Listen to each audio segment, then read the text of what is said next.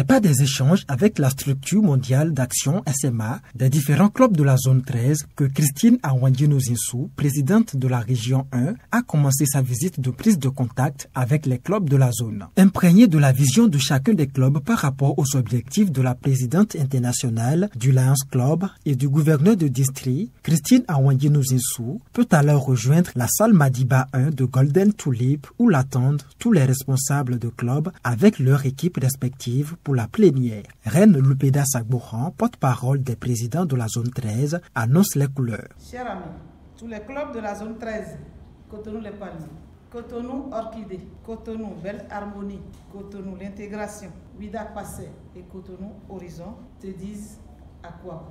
Que l'éternel Dieu te fortifie, t'inspire davantage afin que l'accomplissement de ta mission puisse édifier davantage les clubs qui sont sous ta juridiction le rayonnement de la région après la minute de silence dirigée par l'invité de marque, l'hymne Laons et la présentation de la présidente de la région 1 par la protocole Yolande Aïtidi, Marie-Clémence Aïssasso, présidente de la zone 13, prend la direction des choses. Dans un exposé clair, elle présente dans un premier temps les visions de la présidente internationale du Lance international, Dr Patty Hill, et celles du gouverneur du district K103A4, William Frey, avant de partager avec la PR1 ses objectifs pour la zone 13 pour le compte du mandat 2023-2024. Chers amis PR, juste après notre nomination, nous avons pris contact les présidents de la zone 13. On a essayé d'échanger et on a compris les difficultés qu'avait chaque club.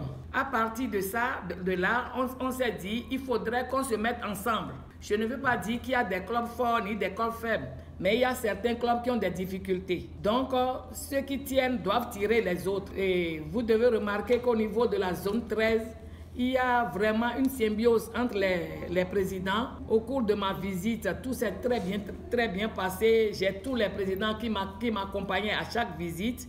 Cela permettait de changer. On a déjà eu à faire des œuvres communes. On a fait quatre œuvres communes le mois passé. En tout cas, pour le moment, ça se passe très bien et je sais que ça va continuer jusqu'à la fin de notre mandat. Par rapport à la, lettre de mission que nous a signé le gouverneur, on est en train de se battre pour pouvoir atteindre les objectifs. Déjà, je peux te confirmer que j'ai déjà six, membres inscrits pour euh, le Forum africain Accra. Dans ma lettre de mission, on m'a demandé trois plus moi-même. On est déjà à six. D'ici là, ça peut augmenter. Par rapport au congrès, euh, congrès convention de Lomé, on est en train de se battre.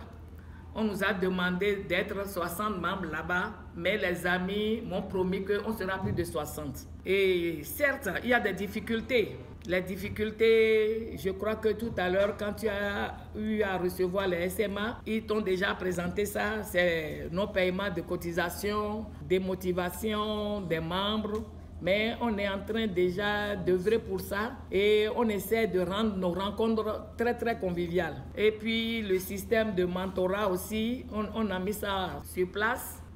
dès que tu es nouveau membre, on n'hésite pas à te confier des responsabilités. Notre protocole, c'est la protocole de Belle Harmonie. Elle a à peine un an. Donc euh, voilà comment ça se passe avec euh, les nouveaux membres qui viennent on les, envoie au charbon tout en essayant de les cadrer. Et je peux te rassurer que tu peux compter sur l'engagement et la détermination de la zone. D'abord des membres et des présidents parce que sans membres, il n'y a pas de président et sans président, il n'y a pas de président de zone. Convaincu que les clubs de la zone 13 et leur présidente de zone Marie-Clémence Aïssasso sont au même diapason que la présidente internationale et le gouverneur, Christine Awandji Nouzinsou mettra l'accent sur certains défis à relever et par les clubs et par la zone 13 à partir de maintenant, les Lions doivent incarner quelque chose d'exceptionnel. Si nous étions au point A hier, nous devions tout faire pour aller au point B dans l'accomplissement de notre mission et dans l'accomplissement de notre être. Pour le faire, il a mis à notre portée quelques axes stratégiques. Ces axes sont de cinq. Nous allons agir au niveau effectif, nous allons agir au niveau formation, nous allons agir au niveau du service que nous portons vers la communauté, la jeunesse, notre relève pour demain et le marketing et communication. Ce qui nous manquait par le passé, c'est de faire savoir ce que nous faisions. Il demande que l'accroissement soit de 10%.